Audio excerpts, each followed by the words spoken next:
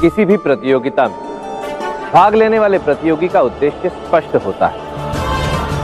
उसमें विजय प्राप्त करना। किंतु जीवन में कभी कभी बड़ी विजय प्राप्त करने के लिए हमें छोटी छोटी पराजय स्वीकारनी होती है। क्योंकि वही उस समय और परिस्थिति की मांग होती है। इसलिए स्मरण रहे। हर एक पराजय लक्ष्य प्राप्ति के मार्ग में अवरोध नहीं होती। कुछ सीढ़ियाँ बनकर आपको अपने लक्ष्य के और निकट ले जाती नीतियाँ मेरी, नियति आपकी।